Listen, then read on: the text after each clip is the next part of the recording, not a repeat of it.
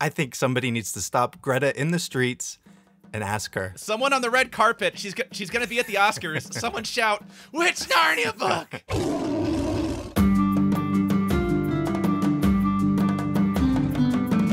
Welcome to Talking Beasts from NarniaWeb.com, where we explore the world of C.S. Lewis and keep a watchful eye on the latest Narnia movie news. This is Talking Beasts.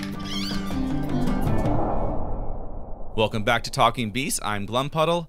Greta Gerwig is on the cover of Time magazine as one of their Women of the Year, and the article and video includes several interesting quotes about the two Chronicles of Narnia movies she is writing and directing for Netflix.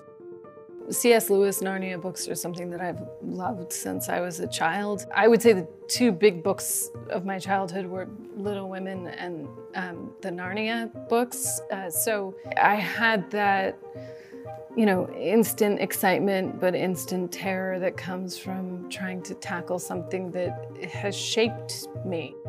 Now, listeners, if you've not read the article, let me just temper your expectations. We still don't have a production schedule, still don't have a release date, and we still don't know which two Narnia books Gerwig is working on. Or do we? Uh, it's kind of crazy. It's kind of frustrating. Uh, there's a lot of little things to dive into here, and I thought this was the perfect opportunity to finally have on the podcast Narnia Web News poster, Impending Doom. Impending Doom, welcome to Talking Beasts. Thank you. Thank you very much. In many ways, I feel like a young Caspian meeting the Pevensies for the first time, of seeing his childhood heroes up close, of like, wow, these people are real. Glumpuddle, really, and Gymfan. They're real. Well, wait, um, we, well, we we talked before. We, we we chat on Slack all the time, talking about new Narnia Web news stuff. Yes. Um, but it does feel a little surreal to be here uh, recording a podcast episode um, with with a podcast um, I've spent so many hours listening to um, and just binging over the last 15 years. So I'm very excited to be here. Listeners, uh, you may not know Doom, but you know his work. Uh, Impending Doom and the Rose Tree Dryad are the ones who scour the interwebs for any scrap of Narnia news there may be. And of course, Doom, you also built the Narnia Web Instagram pretty much from scratch. So it, it it's about time uh, ha- got your voice uh, on the show today. So uh, my feeling overall, I think the response to this article from Narnia Webbers has been quite positive. I've seen several variations of I moved from cautiously optimistic to simply optimistic. A number of people have said like that. But that said, I want to talk about the most maddening part of this article first. and uh, Time says that Gerwig is working on, and I quote, a new adaptation of the first book in C.S. Lewis's Chronicles of Narnia series. which clears everything up. You know, we've been wondering. Thank you, Time. What's Gerwig gonna do? All we know is she's working on two movies. Don't know which ones, but thank you very much, Time Magazine, for clearing that up. Oh, she's working on the first book, which is so which is such an obvious cut and dry uh, clear cut thing in the world of Narnia. Uh, did this has this driven you to the brink of? I think you, I haven't seen you talk much about it in the news poster Slack channel. Me and Rose have been kind of banging our heads against the keyboard. Ha, have you been as close to the brink of insanity as we have been about this? It just doesn't make much sense. you know, like Time magazine, they have this big feature interview with Greta Gerwig. They have they have quotes from Steven Spielberg, Netflix CEO, and the closest we get is the first book, Magician's Nephew or Lion Witch in the Wardrobe. Just come out and say it, please. if I was intentionally trying to drive Narnia fans crazy, I, I think this is what I would write. I, I don't think I could do any better than this. Um, maybe Greta or someone casually said the first book or something, and they just ran with it and didn't realize, hey, uh, this is Narnia. You got to be more specific than that if you're talking about The Lion, the Witch, and the Wardrobe, which is the actual first book, the first one written, or The Magician's Nephew, which, for better or worse, has a number one on the spine. that has a big number one on the spine right now because they're, they're ordered chronologically. I don't know. I mean, later in the article, Gerwig does mention Fauns and Father Christmas but also prior to this, in a, in a different interview, a different podcast, she mentioned the wood between the worlds to describe right, and I which I took as just oh she's just trying to describe where she is in her creative process. Um, So you could look at it both ways. I mean, or we could get both. She's working on two movies, and we've always thought for a while, hey, probably going to be Magician's Nephew and Lion the Witch in the Wardrobe.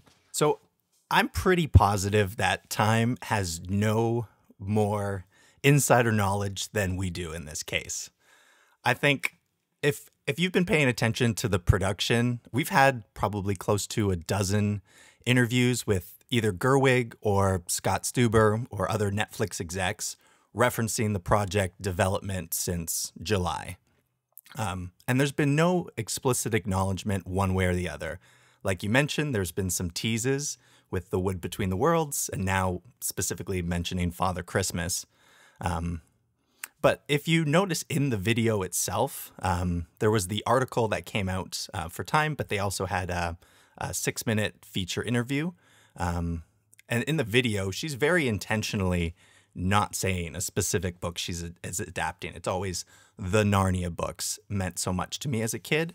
Um, so I, I, I feel like they just have no idea, and that's an assumption on their part. Because I wondered, I wondered if maybe it was just something where, well, because most uh, all the most pretty much all the interviews you're talking about that have come out over the past several months, especially in the wake of Barbie being such a hit, um, it's like it's all about Barbie, and then someone throws in a question about Narnia at the end. So it's not that surprising. You know, they're not a Nar- they're not Narnia webbers. It's not talking beasts. They, they don't follow up and say, "Wait, tell us more.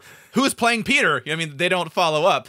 Um, so so I, I always wondered if it was maybe it's not a big secret. Maybe just no one's asking the question. Um, but this does, yeah, this makes it seem like this was the first time I went. It really does seem like they're very intentionally trying to, to, to um, keep it a secret for now, which two they're working on. And I've seen comments from fans just like, when is somebody just going to straight up ask her, which book are you adapting first? and I just, I feel that so much. Uh-huh. I'm, I'm right there with you.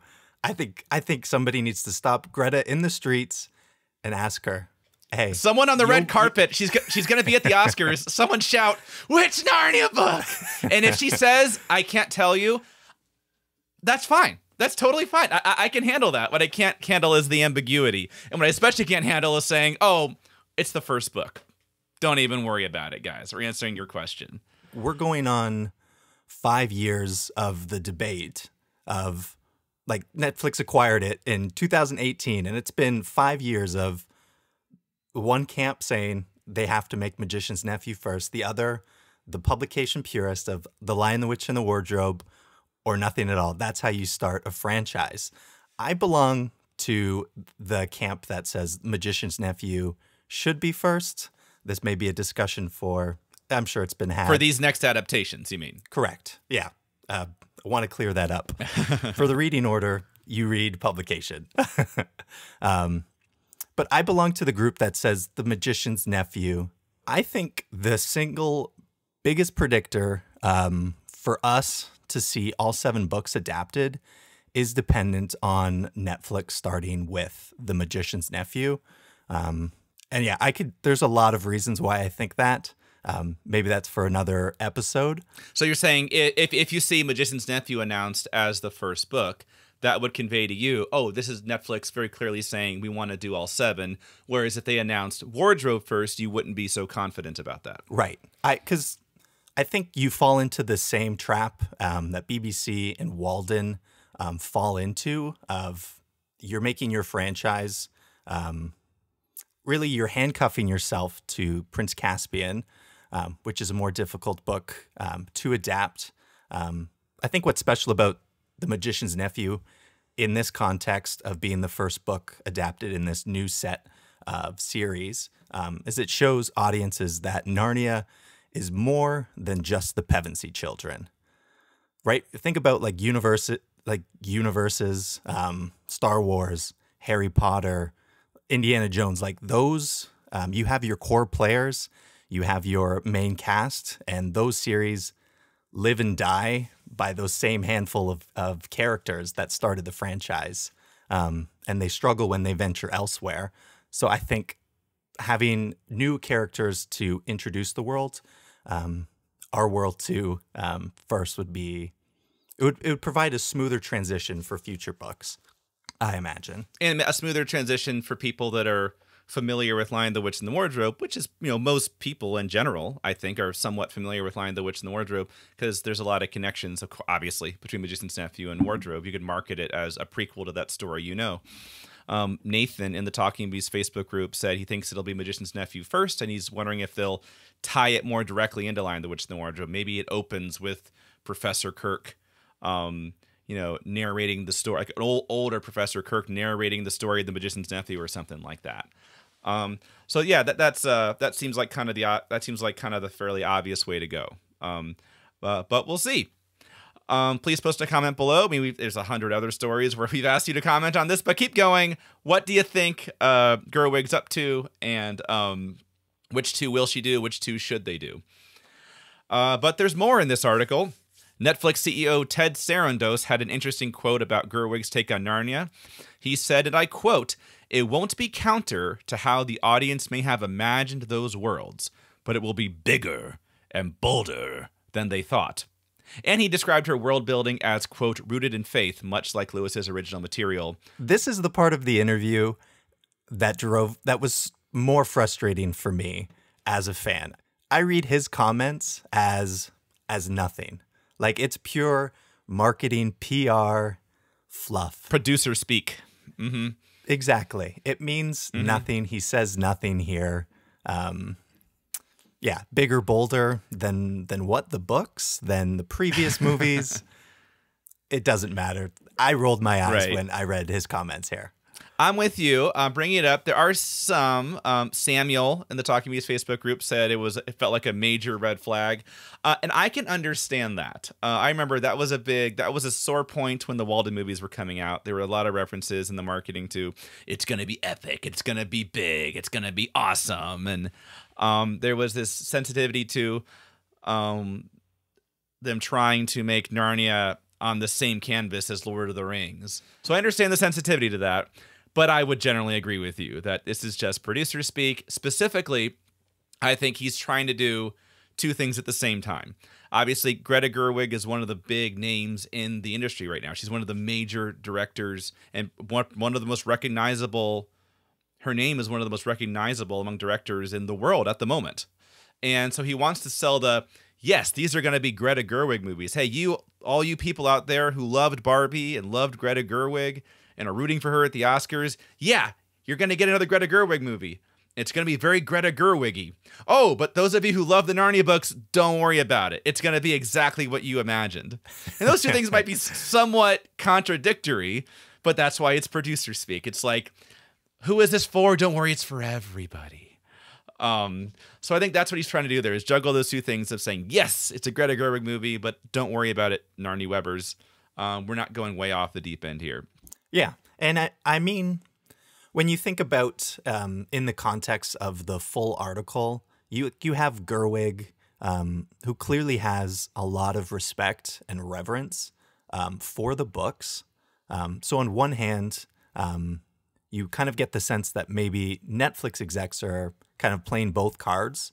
Um, but at this point, it seems Gerwig is very much like she's saying all the right things for me as a fan of the books someone who wants to see the books treated with respect in their adaptation, I'm I'm impressed with how much Gerwig um, clearly recognizes the source material, respects it, and is familiar with it. That's the the perfect segue into kind of the last major point. The last major takeaway from the article here is uh, there's an interesting part in the video that's embedded into the article where Gerwig references something from one of C.S. Lewis's essays. And to me, it, it seems like the interviewer must have asked her something like, What are your hopes or goals for the Narnia movies? And so it seems like in response, Greta Gerwig said, C.S. Lewis said that the goal of you know writing fantasy, you know, something from his imagination, he'd say, let's say you wrote about an enchanted forest. The goal would be that then every time you walk into a forest, after you read it, you say to yourself, maybe this is an enchanted forest. So that's a tall order, but um, I guess re-enchantment of the world. no, no problem there. By that last part, I think she'd sort of meant, yeah, I guess re-enchantment of the world is one of the things I want people to get out of these movies. Um, so if you don't know, Gerwig is referencing an essay Lewis wrote in 1952 titled On Three Ways of Writing for Children. The actual quote from Lewis is, quote, A child does not despise real woods because he has read of enchanted woods. The reading makes all real woods a little enchanted. This is a special kind of longing. So yeah, is this the first time we've seen a Narnia director like specific, kind of very specifically reference another one of C.S. Lewis's works? I mean, my, my, when I think of that, I go like, no, Michael Apted or Andrew Adamson, they must have said something, right? But nothing is coming to mind right now. No, like, and just re um, going into the the discussion this evening, um, I was pulling up old quotes from Michael Apted and Andrew Adamson about the books um, themselves, and like they're sure this is taken maybe a little bit out of context, but you get the sense that Gerwig is much more familiar with that she likes them for what they are. Um, Michael Apted, um, he had famously had the quote of one of the problems in the book is that there's no villain, and all good adventure stories have villains. Like he actually said that guy. If you weren't a part of Narnia Web at the time, that's an actual quote from Michael Apted. He, uh, the director of Voyage of the Dawn Treader, actually said, you know, the problem with the, that all great adventure stories have to have a villain, and he was explaining why they added the green mist. So obviously, and also saying the the the the journey in the book doesn't really have a purpose. When I think so, when I think of my definitely Michael Apted, and to an extent Andrew Adamson, I tend to remember the problems they had with the book. Um, mm-hmm. You know, Adamson talked about wow, there was a lot less there than I remembered, and I understand why he said that. That whole I wanted to make I wanted to make the movie out of my memory of the book. I that doesn't bother me. I I I, I totally understand why he said that, and that that's fine.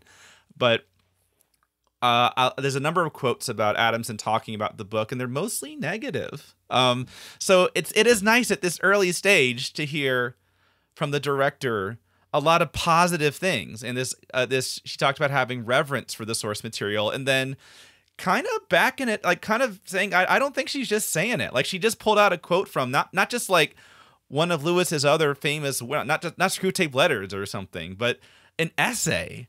Um, like that's that's pretty that's pretty nerdy. Um, even I was like, even and again the Slack group, I was like, okay, uh, where where was that quote from again? I forget where Lewis said that. So, um, that's does it guarantee a great adaptation? Nope. Does it guarantee a great movie? Not at all. Um, but at this point, it just feels nice. That's all. That's all I'm saying. It's just nice to see. Exactly, and it, it's after so many years of Narnia filmmakers seemingly minimizing or attempting to twist Narnia into something it's not intended to be or it never was. Harry Potter, fill in the blank of the popular franchise of the of the year. It's refreshing to hear that the director writer um, is praising the book for what they are. Like she mentioned, um, that the books aren't schematic. It's it's like purposely a mismatched collection of of the stories that C.S. Lewis loved the most. And Andrew Adamson, it seemingly tried to steer away from that um, and try to make it more of a universe, more yes, Lord, Lord of the Rings, essentially. Yeah, I think so. I mean, that was one of the first things and even before Andrew Adamson was on board, Michael Flaherty, then president of Walden Media, like at their initial meeting with the estate, said, you know, promised to make a movie that was of the same quality as Lord of the Rings. So I think that kind of Lord of the Rings shadow, Lord of the Rings cast a very big shadow on those productions, and I completely agree with you that it is refreshing. And even we had the quote from Mark Gordon talking about uh, this is you know this is several years ago before Netflix got involved, but I'm sorry, this is talking about kind of why Netflix initially got involved before Gerwig necessarily was. But Mark Gordon said, you know, anything that looks or smells like Game of Thrones, people are, are gobbling it up right now. And Narnia had 3,000 characters. So it, it is refreshing to see the director say, I love Narnia for its Narnia ness, not because it's vaguely similar to something else. Um, and that full quote, just to uh, read what you're talking about, it's another interesting part of this Time Magazine article where Gerwig says she is drawn to the quote euphorically dreamlike quality of Lewis's writing. And Gerwig says, quote, it's connected to the folklore and fairy stories of England, but it's a combination of different traditions. As a child, you accept the whole thing that you're in this land of Narnia, There's fauns, and then Father Christmas shows up. It doesn't even occur to you that it's not schematic. I'm interested in embracing the paradox of the worlds that Lewis created because that's what's so compelling about them. End quote. I, I, I love it. And even Adamson in the comments, yeah, we're clapping. It's just someone's the director talking about, hey, I love all this stuff that might seem like a challenge. I love it. I remember Michael Flaherty. I forget when this and the then president of Walden Media. Um, remember him saying, you know, there are. You have to understand there's tough bits in the Narnia books. And he specifically referenced the um, the romp with Bacchus and Silenus and the uh, implication of people getting drunk during that whole dance and everything. Um, but the whole kind of whole, hey, there's really tough bits here and can't necessarily do that in a movie. And I'm not saying those none of those are valid points, but it's just refreshing to hear people just excited about these books are really or in this case the director these books are really good. By no means is it guarantee the books the movies are going to be awesome. That's all that matters ultimately. Um, but there's a lot of people that love Narnia and are very knowledgeable about Narnia that aren't qualified to turn it into a movie. Being able to adapt it is a different thing.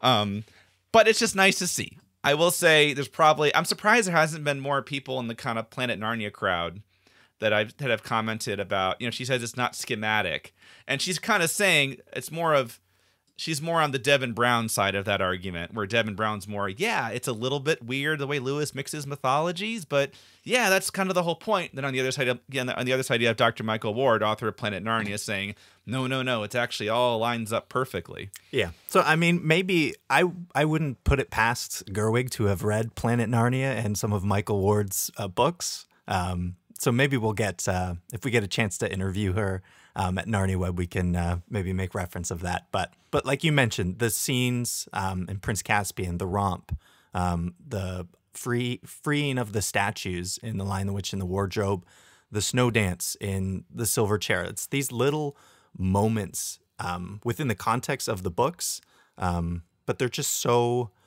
powerful and atmospheric and beautiful, frankly. Just joyful and important thematically to what the book is about. And we've had just a history of, of these being minimized um, in favor of, of the action sequence. And that's one thing about Gerwig. Um, for all of um, some concerns that fans have, I do think I, I don't think we're going to have an issue um, of battles becoming a, a, main focus for the story. Um, I'm reminded of a story in um, that Gerwig told um, during the press um, press tour for Barbie of um, of a scene that studio executives wanted to kind of axe out of the film. Um, so there's a scene in the movie. Barbie's just entered the real world, um, and there's this really small moment where Barbie's sitting on a bench, and there's this elderly woman uh, next to her, and she kind of tells her, "You're so beautiful." And mm-hmm. like the scene doesn't go anywhere. It's a it's a cul-de-sac moment. She called it, um, and executives wanted her to cut it, but to her, this is the quote: "If I cut the scene, I don't know what the movie is about. To me, this is the heart of the movie." And I just think that's that's someone I want involved with a Narnia production. Wow, that's a really great quote you brought up. I totally forgot about that with Barbie. And yeah, uh, I feel like I think she's I just think that I'm not saying I'm going to like everything she's going to do with Narnia. I may in fact not like much of it because I still have there's still reasons I have there's still some reservations and some, some concerns I have about Gerwig directing Narnia. But I think whatever she does, she'll be very I think she knows what she's talking about and whatever she does will be very deliberate. Whereas I get the sense there are things in the Walden movies that often essentially there were changes. A lot of the big changes might have been made somewhat unintentionally, just because they didn't quite realize they had changed that. Just, I mean, the, probably the most obvious one is the line in Prince Caspian, where in the book Aslan says, "Every year you grow, you will find me bigger," and in the movie it was changed to, "Every year you grow, so shall so I." Shall I? Yeah. Now, like at a glance, they seem the same, but you think about it, it's like that actually means something really different. And so there's a number of things that I felt they were um, making they didn't quite understand that they were changing something. And I think Gerwig, whatever she changes, she will know she's changing it, and she'll have very specific reasons uh, for for doing it. Um, so just coming out of this article, I've talked about some of my concerns in past episodes, and those still stand. But just coming out of this article, once the frustration about the whole first book thing kind of calms down, makes me feel makes me feel good. At this point in history, I I feel good about Greta Gerwig, and I, I, like I said before, it sounds like a lot of Narnia Webbers that generally this has shifted things. a- Everyone feels a little bit better um, after reading this, and it sounds like you the same. Yeah. Who would have thought um, Impending Doom and Glumpuddle with the, our usernames would be so positive uh, about about this? But yeah, Hey, like, it's even impressive. Glumpuddle and Impending Doom are feeling pretty good at this point in time. So something's happening. um, uh, uh, now, uh, the Rose Tree Dryad in the uh, News Poster Slack channel uh, coined the term Gerwiggle. which is genius. Yes, we, we haven't decided though. I would love to hear for the comments section. Um, now, look, I'm not jumping on board and saying I'm a Greta Gerwig person or whatever.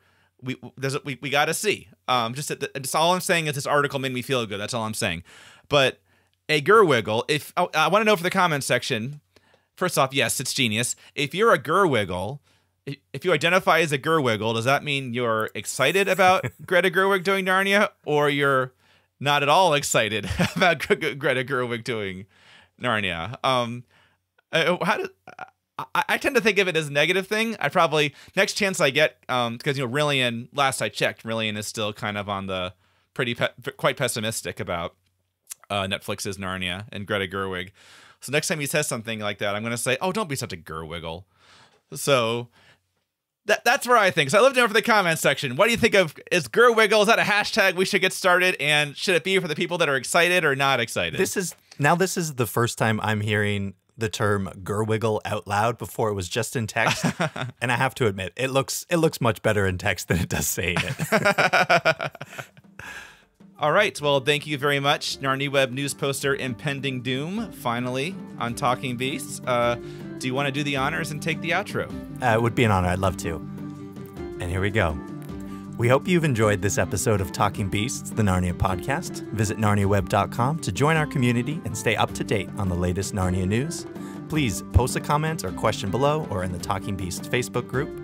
Special thanks to all our Patreon supporters, especially our Knights of Narnia Web. Until next time, further up and further in.